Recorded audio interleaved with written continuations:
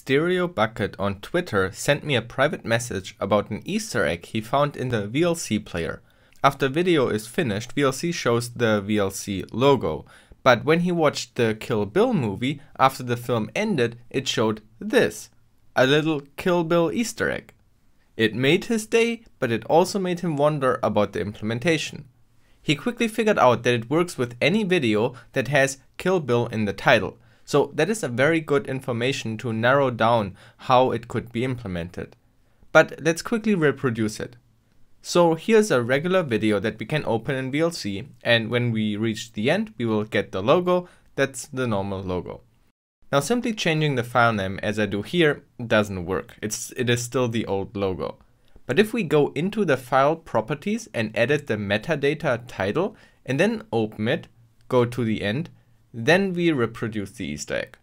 Over my own career in programming and IT, I used to never look at the source code of things. I was scared or maybe just intimidated by it. I never looked into the sources of frameworks I used or even programs I used. Nowadays, I do that quite frequently because a lot of basic Stack Overflow questions can be avoided if you just read the source code. So I thought maybe I can help you lose some of the fear by showing you a great example. Let's start by looking for the VLC source code. I'm not sure if I'm just dumb, but I think the source code is way too much hidden here. Come on, it's an open source project, be more proud of your code. Anyway, here's the repository link. So Stereo Bucket obviously tried to search for Kill Bill in the VLC source code, but it wasn't successful. I tried to look into the memory when VLC is running and still no luck. I'm currently trying to find mentions in the source code, but they either hid it well or I'm just bad at this. Nah, you are not bad. It's of course not easy to quickly head into a large code base and find exactly what you're looking for, especially if it's an Easter egg that they maybe tried to hide. I want to see if there's perhaps more Easter eggs of this kind, or at least find how they hid it. That's a really cool project. So I quickly used GitHub tool to clone the repository, which takes quite a bit, it's quite large, and I have here Visual Studio where I open the clone folder. And as you can see, if we search for Kill Bill, we don't get anything. Unfortunately, I didn't find the time to look myself, but a bit later, Stereo Bucket came back to me and found it. Here's how he described his approach. I stopped being dumb and looked for the image that was used. See, that's a clever approach. The goal is to find the Easter egg, and sure, searching for Kill Bill is one way, but you could also look for the image instead. And yes, we find the file name referenced here. Then I just trace the name of this image to an alias and that alias to the file where it's mentioned.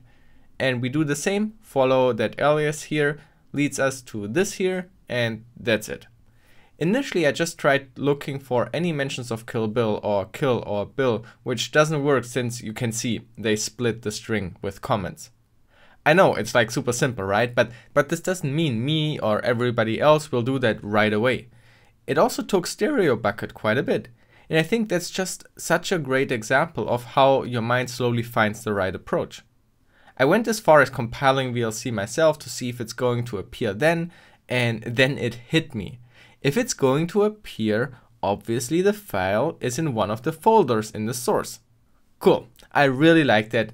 And he also adds, sadly, this confirms that there aren't any other Easter egg cones. I guess there aren't, except of course the Christmas one, but if I remember correctly, that always appears around Christmas, nothing hidden. Now, he also tweeted his finding. I found the code responsible. The Videolan devs split the string, making it harder to find with a naive search attempts I tried first. And Videolan responded, good catch. Also, kilobytes per seconds could be something valid. KIBPS bi-directional. Does it mean anything? Is more hidden here? Maybe? That will remain a mystery.